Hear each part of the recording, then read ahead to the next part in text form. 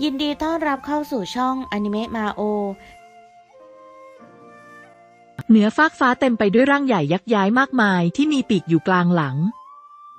นี่คือยุงผู้ตมานบอกได้คำเดียวเลยว่ากองกำลังโลหิตมังกรต้องไม่รอดอย่างแน่นอน ยอดฝีมือฝ่ายอธรรมคนหนึ่งส่งเสียงออกมา มันเป็นอสูรปีศาจร่างยักษ์ที่มีรูปร่างคล้ายยุงแถมยังมีความสูงหลายจ้างและจำนวนที่นับไม่ถ้วนถึงขั้นที่บอดบังม่านฟ้าจนมืดสนิท มันถือเป็นหนึ่งในอสูรปีศาจที่ทรงพลังอย่างมากปากปลายแหลมของมันมีความยาวเหมือนท่อที่คมกริบ ซึ่งสามารถทะลวงผ่านกรอบป้องกันของอสูรปีศาจด้วยกันได้อย่างง่ายดายต่อให้เป็นอสูรปีศาจประเภทที่มีเกล็ดหุ้มก็ไม่เว้นอยู่ดี ที่ยิ่งกว่านั้นคือปากมันยังมีพิษร้าย และหากว่าถูกพิษเข้าไปก็จะทำให้ร่างกายเป็นอัมพาตถึงขั้นที่ไม่สามารถรถขยับไปไหนได้อีกเลย ท้ายที่สุดก็จะถูกสูบเลือดสูบเนื้อไปจนแห้งตาย มันถือเป็นอสูรปีศาจประเภทแมลงกลายพันธุ์ที่ทรงพลังและน่ากลัวด้วยจำนวนที่นับไม่ถ้วนของมันจึงทำให้กลายเป็นราชาในหมู่พงไพรแห่งความมืดโดยที่ไม่มีอสูรปีศาจตัวไหนกล้าล่วงเกินพวกมัน ตอนนี้พวกมันบดบังม่านฟ้าเอาไว้โดยที่มีเสียงกระพือปีกถูกส่งออกมาอย่างดังสนั่นวันไหว เมื่อบินเข้ามาถึงก็ทำการเปิดฉากโจมตีเข้าใส่กองกำลังโลหิตมังกรอย่างไม่ลังเล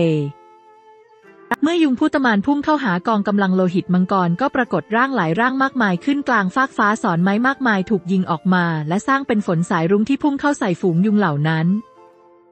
แน่นอนว่าคือนักรบเผ่าวิญญาณทั้งหลาย ซึ่งเป็นผลจากการสั่งการของหลงเฉินภาคพื้นดิน จะเป็นหน้าที่รับผิดชอบของกองกำลังโลหิตมังกรส่วนบนฟากฟ้าจะเป็นหน้าที่ของนักรบเผ่าวิญญาณ ถึงอย่างไรอสูรปีศาจเองก็มีร่างกายที่ใหญ่โตอย่างมาก นี่ทำให้กองกำลังโลหิตมังกรสามารถจัดการพวกมันได้โดยที่ตรึงแนวป้องกันเอาไว้ได้ง่าย ๆ เหตุผลนี้ทำให้เหล่านักรบเผ่าวิญญาณจำเป็นต้องปกป้องน่านฟ้าเอาไว้ถึงอย่างไรการโจมตีระยะไกลก็ถือเป็นสิ่งที่พวกนางถนัดที่สุด เหล่านักรบเผ่าวิญญาณจำนวนหลายล้านคนต่างขึงลูกศรเอาไว้พร้อมทั้งยิงมันออกมา และทำให้มีเสียงลูกสกริดสายลมถูกส่งออกมาอย่างต่อเนื่อง สายรุ้งเหล่านี้พุ่งทะลวงผ่านร่างของเหล่ายุงผู้ตมานไปและทำให้พวกมันร่วงหล่นลงจากฟากฟ้า แม้ว่าพวกมันจะแข็งแกร่งมีพลังโจมตีที่สูงมาก และที่ได้เปรียบที่สุดคือด้านจำนวนก็จริงแต่ทว่าจุดอ่อนที่ร้ายแรงของพวกมันก็คือพลังป้องกันที่ต่ำมากลูกศรของเหล่านักรบเผ่าวิญญาณหนึ่งดอกสามารถทะลวงผ่านร่างของยุงผู้ตมานได้เป็นสิบสิบตัว นี่ทำให้ฝูงยุงผู้ตมานถูกสังหารลงอย่างต่อเนื่อง ถึงแม้ว่ามันจะเป็นอสูรปีศาจก็ตาม แต่กลับเป็นอสูรปีศาจชนิดพิเศษที่ไม่มีการพลังหลักฐานเมื่อถูกทำลายร่างไปก็จะทำให้มันตกตายลงทันที พวกมันตกลงมากระแทกกับพื้นโดยที่ปากแหลมของมันทะลวงผ่านหินลงไปง่ายๆ ราวกับว่าหินนั้นเป็นเพียงแค่เต้าหู้เท่านั้น สวรรค์ มันจะน่ากลัวเกินไปหรือเปล่า ปากอันน่าสะพรึงกลัวของมันมีความคมอย่างมากแถมยังอัดแน่นไปด้วยพิษร้ายที่ทำให้ก้อนหินที่ถูกแทงไปถูกย้อมด้วยของเหลวสีดำราวกับว่ามันกำลังหลอมละลายเห็นได้ชัดว่ายุงผู้ตมานแข็งแกร่งขนาดไหนม่งฉีพยักหน้าของนางพร้อมทั้งส่งพลังจิตวินแผดออกไปและเก็บเอาปากปลายแหลมของพวกมันเอาไว้ทั้งห่มไดอย่างเงียบๆ ปากปลายแหลมที่เหมือนหอกมันมีความยาวหลายจังไม่ต้องพูดถึงความคมของมันแต่แค่พิษร้ายก็มากพอจะทำให้หลงเฉินรู้สึกสนใจได้แล้วนี่ถือเป็นอาวุธสังหารที่ไร้กาจมากๆ ที่ยิ่งกว่านั้นคือด้วยสถานการณ์ที่วุ่นวายแบบนี้จึงทำให้ม่งฉีไม่ต้องเคลื่อนไหวอะไร นางทำเพียงแค่ส่งพลังจิตวิญญาณออกไปก็สามารถเก็บมันกลับมาได้แล้ว เหล่านักรบเผ่าวิญญาณทั้งหลายต่างแสดงสีหน้าที่จริงจังออกมาขณะที่ส่งลูกศรออกไปนับไม่ถ้วนทักษะการใช้คันธนูของพวกนางเอาก็พลิ้วไหวงดงาม และเชี่ยวชาญถึงขั้นสามารถส่งลูกศรหลายดอกไปได้ในเวลาเดียวกัน ทุกการโจมตีของพวกนางจะทำให้ลวดลายตรงหน้าผากของพวกนางส่องประกายออกมาราวกับว่าการโจมตีเหล่านั้นได้ถูกเคลือบเอาไว้ด้วยพลังบางอย่าง มันทำให้ลูกศรไม้แข็งแกร่ง และแหลมคมราวกับลูกศรเหล็ก นี่น่าจะเป็นหนึ่งในพลังแห่งความศรัทธาสินะทุกสิ่งของพวกนางมอบให้ต้นไม้เทวะแห่งชีวิตทั้งหมดนี่ทำให้ต้นไม้เทวะแห่งชีวิตเองก็มอบทุกอย่างให้พวกนางหลงเฉินมองออกไปทางพวกนางด้วยความรู้สึกอิจฉา เพราะว่าความศรัทธาเหล่านี้จะทำให้กลุ่มคนไร้ความกลัวโดยที่ไม่เกรงกลัวจิตมารจะเข้าแทรก พวกนางเป็นนางไม้ที่งดงามที่สุดในโลกใบนี้ พวกนางเป็นสิ่งมีชีวิตนิสัยดีและตรงไปตรงมาถึงได้ทำให้เป็นที่รักและอยากปกป้องของทุกคน แม้ว่ากองกำลังโลหิตมังกรจะใช้เวลากับพวกนางได้ไม่นาน แต่ก็หลงไหลในพงไพรแห่งชีวิตอย่างมาก ต่อให้ไม่ได้รับคำสั่งของเหลงเฉิน พวกเขาก็ยินดีจะต่อสู้แลกชีวิตเพื่อปกป้องพวกนางเอาไว้อยู่ดี ความเป็นจริงแล้วพงไพรแห่งชีวิตเองก็ถือเป็นหนึ่งในความศรัทธาของกองกำลังโลหิตมังกรการปกป้องพงไพรแห่งชีวิตก็คือการปกป้องเหล่าชีวิตอันแสนบริสุทธิ์และดินแดนอันสงบสุข หากว่าพงไพรแห่งชีวิตถูกทำลายไปก็จะทำให้นางไม้เหล่านี้ถูกสังหารลงจนหมด นี่เป็นสิ่งที่จะทำให้พวกเขาต้องบ้าคลั่ง เพราะไม่ใช่อะไรที่พวกเขาต้องการจะให้เกิดขึ้น ตอนนี้กองกำลังโลหิตมังกรร่วมมือกับนักรบเผ่าวิญญาณทั้งหลายอย่างเต็มกำลังพวกนางมีหน้าที่ดูแลน่านฟ้าส่วนกองกำลังโลหิตมังกรมีหน้าที่ดูแลภาคพื้นดินทั้งสองกองกำลังต่างรับมือกับศัตรูของพวกเขาอย่างสุดกำลัง บัดซบพวกมันแข็งแกร่งขนาดนี้ได้อย่างไรกัน ยอดฝีมือเผ่าโบราณคนหนึ่งส่งเสียงกลดาออกมา เป็นเพราะว่าเวลาได้ผ่านไปกว่าสามชั่วยามแล้ว แต่กองกำลังโลหิตมังกรก็ยังไม่มีท่าทีว่าจะเหนื่อยเลยด้วยซ้ำกลับกันพวกเขากลับยิ่งทรงพลังมากขึ้นไปอีก กองซากศพมากมายกองรวมกันเป็นภูเขาขณะที่หลงเฉินเองก็พยายามเก็บกวาดพวกมันไปทว่าแม้จะเป็นเช่นนั้น แต่ก็ยังทำให้สถานที่แห่งนี้ถูกย้อมเอาไว้ด้วยทะเลเลือดอยู่ดี หลงเฉินมันกำลังทำอะไรอยู่กันแน่ ทำไมถึงมันต้องเก็บกวาดสนามรบกัน ยอดฝีมือทั้งหลายต่างแสดงสีหน้าที่งุนงงสงสัยออกมาเหมือนกันหมด ตอนนี้หลงเฉินยืนอยู่ใจกลางสนามรบโดยที่ไม่ได้ยื่นมือเข้าไปช่วยการต่อสู้หรือสั่งการใด ๆ เขาทำเพียงแค่เก็บกวาดไปเงียบๆก็เท่านั้นแม้ว่าร่างของอสูรปีศาจระดับ 11 จะล้ำค่ามาก โดยเฉพาะการพลังหลักฐานที่หาได้ยากยิ่งแต่อยู่ในสถานการณ์เสี่ยงเป็นเสี่ยงตายแบบนี้แล้วยังมานั่งเก็บของพวกนี้มันใช่เรื่องหรือ ไม่เห็นคุณค่าชีวิตของพวกพ้องตัวเองบ้างหรือไง สิ่งที่พวกเขาไม่รู้คือหลงเฉินกำลังเก็บหอมรอมริบอยู่เงียบๆคนเดียวซากอสูรปีศาจมากถูกโยนลงไปในดินดำอย่างไม่หยุดยัง้งราวกับว่าดินดำเป็นปากที่ไม่มีวันอิ่มมันกลืนกินซากเหล่านั้นลงไปพร้อมทั้งส่งถ่ายพลังชีวิตออกไปหล่อเลี้ยงต้นไม้โลกทั้งหลายอย่างต่อเนื่อง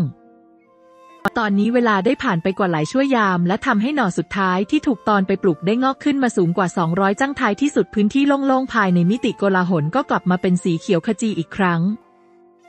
ทว่ายิ่งต้นไม้โลกมีมากขึ้นเท่าไหร่ ก็ยิ่งทำให้มันเติบโตได้ช้าลงเท่านั้น หลงเฉินรู้ดีว่ายิ่งหล่อเลี้ยงมันก็ยิ่งต้องใช้พลังชีวิตมากขึ้นไปอีก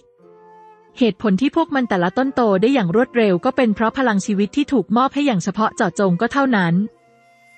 ตอนนี้มีต้นไม้โลกอยู่กว่าแสนต้น และพวกมันเองก็ต้องแย่งพลังชีวิตกันถึงได้ทำให้ความเร็วในการเจริญเติบโตช้าลงมากทว่าแม้มันจะเติบโตอย่างช้าๆ แต่เขาก็ยังรู้สึกตื่นเต้นอยู่ดีนี่หมายความว่าพลังชีวิตของมันมีอยู่อย่างกว้างใหญ่ไพศาลหากว่าเขาสามารถปลูกพวกมันให้โตเต็มมิติโกลาหารได้ก็ไม่ต่างอะไรกับการที่เขากลายเป็นอมตะเลยด้วยซ้ำ จำนวนของยุงผู้ตมานในตอนนี้มีอยู่อย่างมากมายถึงขั้นที่บดบังม่านฟ้าเอาไว้ทั้งหมด ยังดีที่นักรบเผ่าวิญญาณเองก็แข็งแกร่งใช่ย่อยถึงได้ส่งการโจมตีออกมาอย่างต่อเนื่อง แม้ว่าเวลาจะผ่านมานานขนาดนี้ แต่ก็ไม่ได้อ่อนแรงลงเลยแม้แต่น้อย ยุงผู้ตมานถูกสังหารลงอย่างต่อเนื่องขณะที่ม่งชีเก็บเอาปากปลายแหลมของพวกมันเอาไว้ โดยที่มีหลงเฉินคอยเก็บร่างของอสูรปีศาจการผสานงานของพวกเขาสองคนทำได้อย่างดีถึงขั้นที่สนามรบแทบจะดูสะอาดตา ระวังใต้ดิน หลงเฉินส่งเสียงออกมาอย่างกระทันก่อนที่พื้นดินจะระเบิดออกพร้อมทั้งมีปากยักย้ายงับเข้าใส่ทางกองกำลังโลหิตมังกรหลายสิบคน มันเป็นตะขาบที่มีเกล็ดสีดำทมินส่องประกายแสงสะท้อนของโลหะออกมาศีรษะของมันมีขนาดใหญ่พอๆกับภูเขาลูกหนึ่งเลยก็ว่าได้ศีรษะของมันได้ระเบิดออกในพริบตาที่มันกลืนร่างของกองกำลังโลหิตมังกรทั้งสิบคนลงไปพร้อมๆ กับมีปราณกระบี่อันทรงพลังพวยพุ่งพุ่งออกมา พื้นดินถล่มลงไปอย่างต่อเนื่องขณะที่ตะขาบอีกตัวได้อ้าปากที่ใหญ่ยักย้ายของมันทว่าครั้งนี้มันไม่ได้พยายามจะกลืนพวกเขาแต่กลับพ่นกลุ่มหมอกสีดำออกไปรอบๆ แย่แล้วหมอกนี้เป็นพิษ กองกำลังโลหิตมังกรส่งเสียงโห่ร้องออกมาพร้อมทั้งรีบพากันถอยร่นกลับไป ทว่าพวกเขาก็ยังถูกหมอกนี้รายล้อมเอาไว้ และเมื่อมันสัมผัสเข้ากับผิวหนังก็ให้ความรู้สึกราวกับกำลังถูกนาบอเอาไว้ด้วยเหล็กร้อนๆ ผิวหนังของพวกเขาลอกออกมาเป็นแผ่นๆ โดยทันทีฮ่าฮ่าถึงเวลาจบเฮของกองกำลังโลหิตมังกรแล้ว กลุ่มคนที่อยู่ห่างออกไปพากันแสดงสีหน้าที่สมน้ำหน้าออกมา มีหลายคนพยายามเข้าใกล้สนามรบอย่างเงียบๆเพื่อรอชิงเอาอาวุธทั้งหลายของกองกำลังโลหิตมังกรที่เฝ้าฝันกันมานาน ตะขาบตัวนั้นถือเป็นสิ่งมีชีวิตโบราณที่มีชื่อว่าตะขาบซ่อนพสุธาหางเหล็กอาจจะดูเหมือนว่ามันมีร่างกายที่ใหญ่โตเทอะแต่มันกลับสามารถเคลื่อนที่ใต้ดินได้อย่างรวดเร็วราวกับอสูรทะเลที่อยู่ในน้ำที่ยิ่งไปกว่านั้น คือยังยับยั้งสภาวะพลังเอาไว้ได้ โดยที่ไม่มีใครสามารถตรวจจับได้พวกมันมีรอยริ้วอยู่ที่ศีรษะของมันอยู่ 11 จุด ซึ่งถือเป็นสัญลักษณ์เฉพาะตัวของตะขาบซ่อนพสุธาหางเหล็ก แต่ละรอยเป็นตัวแทนของระดับในอีกความหมายหนึ่ง คือพวกมันล้วนเป็นอสูรปีศาจระดับ 11 ด้วยกันทั้งหมดพิษร้ายของมันสามารถฆ่าชีวิตยอดฝีมือขอบเขตดาราชีพได้ง่าย ๆ เมื่อเห็นว่าพวกมันปรากฏตัวออกมา ก็ทำให้หลายคนเชื่อว่ากองกำลังโลหิตมังกรจบเหตุแล้วแน่ ๆ นี่แหละเหมาะที่สุดในการฉกฉวยผลประโยชน์ ถอยกลับมาให้หมด หลงเฉินออกคำสั่งไปเพราะแม้ว่าพวกมันจะโผล่ออกมาจากกระทันหัน แต่เขาก็ไม่ได้แตกตื่นต่อให้มีพิษร้าย แต่ก็ไม่สามารถฆ่าชีวิตกองกำลังโลหิตมังกรได้อยู่ดี เพราะพวกเขาได้รับพรจากต้นไม้วิญญาณทั้งหลาย เมื่อพิษร้ายเหล่านี้แทรกซึมเข้าสู่ร่างของพวกเขาก็ปรากฏลวดลายรูปใบไม้ขึ้นที่กลางหน้าผากก่อนที่พลังชีวิตอันไร้ที่สิ้นสุดจะส่องประกายออกมาเพื่อขับพิษออกไป ทว่าแม้ว่าจะสามารถขับพิษออกมาได้แต่ก็จะยังอยู่ในวงล้อมของพิษอยู่ดีสิ่งเหล่านี้จะขัดจังหวะการต่อสู้และส่งผลกระทบต่อศักยภาพในการต่อสู้อย่างรุนแรงนี่นี่ทำให้เมื่อออกคำสั่งไปถังหวานเอ๋อได้ผสานมือเข้าหากันพร้อมทั้งสร้างคลื่นพายุขนาดใหญ่ขึ้นมา นางใช้มันซัดเอากลุ่มหมอกพิษทั้งหลายออกไปหาทางกลุ่มยอดฝีมือที่กำลังเข้าใกล้สนามรบเพราะต้องการจะฉกฉวยโอกาสโดยที่ไม่จำเป็นต้องให้หลงเฉินสั่งการแม้แต่น้อย กลุ่มหมอกสีดำที่บดบังม่านฟ้าไว้ได้ถูกคลื่นพายุอันทรงพลังซัดกลับไปหาเหล่ายอดฝีมือที่กำลังเข้ามาใกล้คลื่นวายุที่ทางวันเอิงออกไปมันทรงพลังถึงขั้นที่สามารถพัดออกไปหากลุ่มคนที่อยู่ห่างออกไปไกลกว่าหลายพันลี้ได้อย่างฉับพลันนี่ไม่เปิดโอกาสให้อีกฝ่ายได้มีเวลาตั้งตัวก่อนที่กลุ่มหมอกมากมาย จะกลืนกินร่างของพวกเขาและทำให้มีเสียงกรีดร้องถูกส่งออกมาอย่างต่อเนื่อง มันเป็นกลุ่มหมอกกัดกร่อนที่เมื่อสัมผัสโดนก็จะทำให้ร่างกายหลอมละลาย โดยทันทียอดฝีมือบางคนที่ระดับพลังต่ำเกินไป ก็จะทำให้ถูกกัดเข้าไปถึงกระดูกด้านใน และทำให้กระดูกสีขาวแปรเปลี่ยนกลายเป็นสีดำไม่นานหลังจากนั้น ก็แตกออกและสลายหายไปไม่เว้นแม้กระทั่งดวงวิญญาณหลักฐานของยอดฝีมือขอบเขตพันเทวะขนาดดวงวิญญาณหลักฐานยังถูกกัดกร่อนได้นี่ถือว่าเป็นหมอกพิษที่อันตรายถึงขั้นสามารถสังหารยอดฝีมือขอบเขตพันเทเวะได้ง่าย ๆ มีเพียงทูตสวรรค์ขั้นเจ็ดขึ้นไปเท่านั้นถึงจะสามารถใช้ปรากฏการณ์วิถีสวรรค์ของตัวเองยับยั้งมันเอาไว้ได้บ้างทว่าก็ยังถูกมันกัดกร่อนจนผิวหนังหลุดลอกออกมา และเผยให้เห็นมัดกล้ามเนื้อสีแดงสดด้านในที่ให้ความรู้สึกน่าสยดสยองอย่างมากทว่าทูตสวรรค์ขั้นเจ็ดลงไปล้วนแล้วแต่ตกตายลงจนหมดไม่เว้นยอดฝีมือขอบเขตพันเทวะเองก็ด้วย มีเพียงแค่ทูตสวรรค์ขั้นเจ็ดขึ้นไปเท่านั้นถึงจะต่อต้านมันได้หลังจากที่เอาชีวิตรอดมาได้ ก็ทำให้พวกเขาส่งเสียงคำรามออกมาพร้อมทั้งพุ่งหนีไป พวกเขาไม่คิดมาก่อนเลยว่าหลงเฉินจะกล้าเปิดฉากโจมตีเข้าใส่พวกเขาแบบนี้นี่ทำให้ยอดฝีมือหลายหมื่นคนถูกสังหารลงภายในชั่วพริบตาเท่านั้นยอดฝีมือหลายคนตกตายลงในกลุ่มหมอกนี้จนไม่เหลือแม้กระทั่งซากศพมีเพียงคนกลุ่มน้อยที่หนีกลับออกไปได้ พวกเจ้ารอก่อนเถอะ นางแพทย์สยาสำนักพลิกสวรรค์หากว่าวันนี้ไม่ฆ่าล้างพวกเจ้าทั้งหมดก็ไม่ขอเป็นคนอีกต่อไป ยอดฝีมือจากสมาคมตระกูลโบราณคนหนึ่งได้ส่งเสียงโห่ร้องออกมาขณะที่ผิวหนังทั่วร่างหลุดลอกออกไปจนหมด ไม่มีเหลือเขาพยายามหมุนวนพลังวิธีสวรรค์อย่างสุดความสามารถเพื่อขับพิษเหล่านี้ออกไปมันเป็นพิษร้ายที่จัดการได้ยากเสมือนว่ามันฝังรากลึกลงไปภายในกล้ามเนื้อของพวกเขาและทำให้รู้สึกราวกับว่ากำลังถูกฉีกออกอย่างต่อเนื่อง มันเป็นความรู้สึกเจ็บปวดเข้าไปถึงดวงวิญญาณ ซึ่งไม่ต่างจากการทรมานเลยก็ว่าได้ ไอ้พวกโง่หักว่าแน่จริงก็เข้ามาสีหอนอยู่ด้านนอกมันได้อะไร หลงเฉินหันมองพร้อมทั้งกลด่าออกมาอย่างไม่พอใจ ในเมื่อยืนอยู่ในสนามรบแล้วก็เท่ากับว่าเป็นศัตรูกันการที่มาเสียเวลาเปลืองน้ำลายอยู่แบบนี้มันไม่ได้มีความหมายอะไรมากนัก ทว่าภายในหัวใจของเขาก็ยังรู้สึกโกรธแค้นอยู่ดีเขามักจะเผยรอยยิ้มเมื่อมีคนกลด่าตัวเองแต่อีกฝ่ายกลับเลือกสาบแช่งทั้งหวานเออแบบนี้มันทำให้ความโกรธของเขาประตูออกมาถึงขั้นที่อยากจะระเบิดพลังทั้งหมดในคราเดียวคลื่นวายุของทั้งวันเอ๋ยยังคงพัดออกไปและทำให้ยอดฝีมือทั้งหลายพากันถอยร่นกลับไปด้านหลังอย่างรวดเร็ว หลังจากที่คลื่นพายุของนางถูกส่งออกไปได้ไกลหลายหมื่นลี้ก็ทำให้พลังของมันลดลงและไม่สามารถไล่ตามอีกฝ่ายได้ทัน ไม่ต้องไปสนใจพวกมันหรอกจัดการพวกอสูรปีศาจพวกนี้โดยใช้หมอกพิษก็พอ หลงเฉินส่งข้อความจิตวิญญาณไปหาทั้งหวานเอ๋อเขารู้สึกตลกอยู่ภายในใจ เพราะว่ามันเป็นอย่างที่เขาคิดเอาไว้จริง ๆ เลยว่าพงไพรแห่งความมืดนี่มันเป็นพวกสมองกลองอย่างแท้จริง คลื่นลมพายุอันทรงพลังของทางวันเอ๋อได้เปลี่ยนทิศทางของกลุ่มหมอกทั้งหลายพุ่งออกไปทางฝูงอสูรปีศาจและทำให้พวกมันส่งเสียงกรีดร้องออกมาก่อนที่ขนทั่วร่างจะถูกกัดกร่อนจนหมด มีเพียงอสูรปีศาจบางตัวเท่านั้นที่สามารถต้านทานการโจมตีนี้ได้และกระโจนเข้าใส่ทางกองกำลังโลหิตมังกรโดยทันทีหลี่ชีมิงหยวนพวกเจ้ารับมือตะขาบพวกนี้เอาไว้แต่อย่าฆ่ามันโดยเด็ดขาด กองกำลังนักรบเผ่าวิญญาณพวกเจ้าใช้ลูกศรของตัวเองจัดการพวกอสูรที่กำลังพุ่งเข้ามา หลงเชิญออกคำสั่งอย่างดัง เป็นเพราะว่ากลุ่มหมอกพิสไรทมพื้นทั้งหมดเอาไว้ถึงได้ทำให้ยุงผู้ตมานร่วงหล่นลงจากม่านฟ้ากันจนหมด เพราะมันไม่สามารถรับมือกับการโจมตีนี้ได้ พงไพรแห่งความมืดนี่มันก็โง่จริง ๆทำแบบนี้มันต่างอะไรไปจากมอบความได้เปรียบให้หลงเฉินกัน เพิงหวานเฉิงส่งเสียงเย้ยหยันออกมาอย่างเย็นชา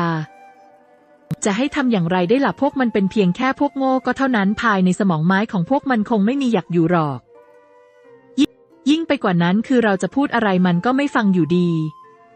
ฉะนั้นปล่อยไปตามเวรตามกรรมเถิดถึงยังไงก็ไม่ใช่คนของเราอยู่ดี ฉากวนหยานพูดขึ้นด้วยน้ำเสียงที่ฟังดูราบเรียบ เพราะว่าเขาเองก็ได้ยินคำร่ำลือเกี่ยวกับความโง่เขลาของพงไพรแห่งความมืดมานานวันนี้ เป็นวันที่เขาได้เห็นกับตาตัวเอง และต้องบอกเลยว่าโง่เง่าถึงขีดสุด การที่กลุ่มหมอกพวกนี้มันกัดกร่อนเหล่าฝูงอสูรปีศาจทั้งหมดไปพร้อมๆ กับยุงผู้ตมานี่ยังพอว่าสิ่งที่ทำให้พวกเขาหมดคำพูดที่สุดคือนักรบเผ่ายานยานได้สังหารพวกมันไปไม่ถึงครึ่งด้วยซ้ำแต่พวกมันส่วนใหญ่ได้ถูกหมอกนี้สังหารลงจนหมด เรียกได้ว่ายุงภูตมานเหล่านี้ถูกฆ่าล้างจนหมดแถมกลุ่มอสูรปีศาจที่มีขนหนาก็ถูกหมอกพิษกัดจนขนหายไปหมด นี่ทำให้พลังป้องกันของพวกมันลดลงอย่างหวบภาพ การป้องกันที่เคยเจาะทะลวงได้ยากกลับถูกทะลวงผ่านไปได้ง่าย ๆ ราวกับมันกลายเป็นเพียงกระดาษลูกศรมากมายทะลวงผ่านร่างของพวกมันไปนับไม่ถ้วน ยิ่งไปกว่านั้นคือพวกนางมีความแม่นยำที่สูงมากสอนแต่ละดอกล้วนทะลวงผ่านจุดตายทั้งหมด และทำให้อสูรปีศาจล้มลงกับพื้นโดยทันที ตะขาบซ่อนพสุธาหังเหล็กเองก็พยายามขุดดินขึ้นมา และกระโจนเข้าใส่ทางกองกำลังโลหิตมังกร จึงทำให้พวกเขาพากันถอยร่นกลับไป กำแพงพสุธาหลีชีและซ่งมิงหยวนส่งเสียงออกมาก่อนที่จะเรียกเอาปรากฏการณ์วิธีสวรรค์ขั้นก้าวพลางผสานมือแล้วตบลงไปที่พื้นดิน ปรากฏกำแพงพสุธาความหนาขนาดหลายพันจ้างขึ้นมา มันค่อยๆยยกตัวขึ้นจากพื้นอย่างช้าๆ และพลังที่แข็งแกร่งของมันทำให้โลกทั้งใบถึงกับสั่นไหวอย่างต่อเนื่องพลังพสุธาเหล่านี้ส่งผลให้ฟ้าดินถึงกับเปลี่ยนสีไป อักขระมากมายรายล้อมกำแพงเหล่านี้เอาไว้ทำให้มันส่องแสงสะท้อนออกมาราวกับเป็นกำแพงเหล็กที่แข็งแกร่งเสียยิ่งกว่ากำแพงเมืองมันสามารถรับการโจมตีทั้งหมดเอาไว้ได้อย่างง่ายดายหลงเฉินเผยรอยยิ้มออกมาเพราะว่าหลังจากที่ทั้งสองคนได้กลายเป็นทูตสวรรค์ขั้นเก้าก็ทำให้พลังพสุธาของพวกเขายิ่งบริสุทธิ์มากขึ้นไปอีกกำแพง พวกนี้มันมีพลังป้องกันที่สูงมาก พื้นดินแยกออกเป็นเสียงๆก่อนที่ตะขาบซ่อนพสุธาหังเหล็กจะพุ่งออกมาจากพื้นดินเนื่องจากกำแพงยักษ์ย้ายนี้ไม่เพียงแค่สร้างการป้องกันเหนือพื้นเท่านั้น มันปิดกั้นพื้นที่ทั้งหมดเอาไว้ทำให้พวกมันถูกต้อนออกมา ตะขาบร่างยักษ์ย้ายขนาดหลายพันจ้างพากันกระโจนเข้าใส่กำแพงนี้อย่างต่อเนื่อง ทว่าหลีฉีและซ่งหมิงหยวนก็ยังคงผสานพลังกันอย่างดี ไม่ว่าพวกมันจะกระแทกเข้าใส่อย่างไร ก็ไม่สามารถทำลายกำแพงนี้ได้แม้ว่าจะมีปริแตกบ้าง แต่ก็จะรักษาตัวเองได้อย่างฉับพลัน พวกมันพยายามปีนผ่านกำแพงนี้ แต่ท้ายที่สุดก็ถูกอักขระมากมายกระแทกถอยกลับไปไม่ว่า พวกมันจะพยายามอย่างไร ก็ไม่สามารถเจาะผ่านกำแพงนี้ไปได้นี่ทำให้พวกมันพ่นหมอกพิษออกมาอย่างต่อเนื่อง แบบนี้ตายกันพอดีพงไพรแห่งความมืดนี่มันโง่สุดๆไปเลย กำแพงพสุธาตั้งตระงานอยู่อย่างเหนียวแน่น โดยที่ตะขาบซ่อนพสุธาหางเหล็ก ไม่สามารถก้าวข้ามมันไปได้ทั้งวานเออใช้ประโยชน์จากกลุ่มหมอกพิษ โดยการพัดมันออกไปอัดเข้าใส่ฝูงอสูรปีศาจอย่างต่อเนื่อง ผลลัพธ์คือการที่พวกมันตกตายลงภายใต้คอมอสอนของนักรบเผ่าวิญญาณเป็นจำนวนนับไม่ถ้วน ส่วนอสูรปีศาจที่แข็งแกร่งผิดปกติ ก็จะถูกกัวเหรินใช้หน้าไม้ยักยิงสารกำปนาดอัดเข้าใส่จนตายคาที่ แม้ว่าอสูรปีศาจเหล่านั้นจะทนทานต่อหมอกพิษทว่าสารกรรมปนาดของกัวเรินมันทรงพลังกว่ามากการโจมตี แต่ละครั้งก็จะพุ่งเป้าไปที่จุดตายอย่างจมูกดวงตาหรือปาก ซึ่งส่งผลให้แรงระเบิดปิดชีวิตมันโดยทันทีกัวเรินรับหน้าที่จัดการกับพวกที่แข็งแกร่งผิดปกติเท่านั้น เพราะเขาไม่อยากจะสิ้นเปลืองสารกรรมปนาดของตัวเองไปกับอสูรปีศาจที่อ่อนแอเขาปล่อยให้เหล่านักรบเผ่าวิญญาณทั้งหลายเป็นคนจัดการกับพวกมัน เมื่อเรื่องเป็นเช่นนี้ก็ทำให้เหล่ากองกำลังโลหิตมังกรทั้งหลายพากันยืนเรียงกันอยู่บนกำแพงสูงพวกเขาได้แต่มองลงไปยังเหล่าตะขาบที่กำลังพยายามกระแทกกำแพงเหล่านี้อย่างบ้าคลั่ง ทั้งวานเอ๋อมีหน้าที่คอยพัดเอากลุ่มหมอกพิษออกไปใส่ทางอสูรปีศาจทั้งหลาย โดยที่กัวเหรินมีหน้าที่จัดการตาวัดที่แข็งแกร่งผิดปกติที่เหลือเป็นหน้าที่ของนักรบเผ่าวิญญาณคอยจัดการพวกที่อ่อนแอ หลงเฉินรับหน้าที่เก็บกวาดกองซากศพส่วนกองกำลังโลหิตมังกรทั้งหลายต่างรักษาบาดแผลของพวกเขาจนสมบูรณ์และมองกลับไปทางสนามรบด้วยสายตาที่เย็นเยือก พวกเขาไม่ได้ฆ่าตะขาบพวกนี้แต่จะส่งการโจมตีออกไปเป็นพักๆเพื่อยุยุให้มันพ่นหมอกพิษออกมาเรื่อยๆ ทนดูไม่ไหวแล้ว ไม่ว่าจะเป็นฝ่ายอธรรมเผ่าโบราณ หรือสมาคมตระกูลโบราณก็ล้วนรู้สึกโกรธจัดอย่างมาก เพราะไม่เข้าใจเลยว่าพงไพรแห่งความมืดมันกำลังคิดอะไรอยู่กันแน่ นี่เอาอาหารไปเสิร์ฟให้อีกฝ่ายงั้นหรือ สิ่งที่พวกเขายอมรับไม่ได้ที่สุดก็คือแม้จะเห็นกลุ่มหมอกเหล่านั้น แต่อสูรปีศาจทั้งหลายก็ยังคงพุ่งต่อไปราวกับเอาชีวิตไปทิ้งก็ไม่ปาน พวกมันโง่อะไรขนาดนั้น สมองมันกลวงเหมือนกันหมดเลยหรือไงหลายๆคนกลด่าออกมา เพราะว่าก่อนหน้านี้พวกเขาวางแผนว่าจะใช้ประโยชน์จากพวกมันเพื่อสังหารกองกำลังโลหิตมังกรวค่อยไปฉกฉวยโอกาส ทว่าพวกมันกลับโง่เง่าเกินไปหากว่าเป็นเช่นนี้ก็คงไม่มีทางจัดการกองกำลังโลหิตมังกรได้อย่างแน่นอน หมดหนทางแล้วเหมือนกัน นี่ก็เพราะว่าอสูรปีศาจพวกนี้มันอยู่ภายใต้การบัญชาการของพงไพรแห่งความมืดจึงทำให้สติปัญญาของพวกมันต่ำมาก ดวงวิญญาณของพวกมันน่าจะอยู่ในการควบคุมของพงไพรแห่งความมืดจึงไม่มีความสามารถในการคิดด้วยตัวเอง พวกมันเปิดฉากโจมตีไปตามสัญชาตญาณก็เท่านั้น ยอดฝีมือขอบเขตดาราชีพคนหนึ่งจากฝ่ายอธรรมได้ส่งเสียงออกมา เพราะดูเหมือนว่าเขาจะมีความรู้มากกว่าคนอื่นๆ แต่ มันไม่ต่างอะไรกับการเอาไข่ไปกระแทกหินเลยนะ ยอดฝีมือคนอื่นๆ พูดออกมาด้วยสีหน้าที่ขมขื่นแผนการของหลงเฉินมันไม่ได้มีอะไรมากมายเลยแต่อสูรปีศาจพวกนี้มันกลับโง่เง่าจนเกินไปการที่ต้องมองพวกมันแบบนี้ทำให้พวกเขารู้สึกไม่สบอารมณ์อย่างมาก แต่ก็ไม่มีหนทางอื่นแล้วเหมือนกัน นี่ก็เพราะว่าต้นไม้มันทั้งหมดได้ถอยร่นออกไปหมดแล้ว จึงไม่มีใครสามารถถ่ายทอดคำสั่งออกไปได้นี่ทำให้อสูรปีศาจทั้งหลายเอาชีวิตตัวเองไปทิ้งอย่างเสียเปล่า หลงเฉินได้แต่ยิ้มแย้มออกมาอย่างมีความสุข เพราะว่าซากของพวกมันได้ถูกดินดำกลืนกินไปจนหมดไม่นานก็ส่งพลังชีวิตอันเข้มข้นออกไปหล่อเลี้ยงต้นไม้โลกทั้งหลายพวกมันถือเป็นอสูรปีศาจแนวหน้าของพงไพรแห่งความมืด ซึ่งส่วนใหญ่เป็นอสูรปีศาจระดับสิบแต่ก็จะมีบางส่วนเป็นระดับสิบเอ็ดรวมอยู่ด้วย นี่ทำให้ต้นไม้โลกภายในมิติโกลาหลค่อยๆ เจริญเติบโตอย่างช้าๆ และท้ายที่สุดก็ทำให้เข้าใกล้ขนาด 500 จังซึ่งพอๆ กันกับต้นไม้โลกต้นแรก ดูเหมือนว่าพลังชีวิตทั้งหมดจะถูกแบ่งออกไปอย่างเท่าเทียมกันนี่ทำให้ความต่างชั้นในอนาคตจะยิ่งลดลงจนท้ายที่สุดก็เท่ากัน คิดจะหนีงั้นหรืออย่าหวังไปหน่อยเลยหลี่ฉีซ่งหมิงหยวนฆ่าพวกมันให้หมด หลงเฉินเย้ยหยันออกมาหลังจากที่สังเกตเห็นความผิดปกติเขาเห็นว่ามีสภาวะพลังอันหนักหน่วงกำลังพุ่งหน้าเข้ามา อย่าลืมติดตามรับชมในตอนหน้านะคะ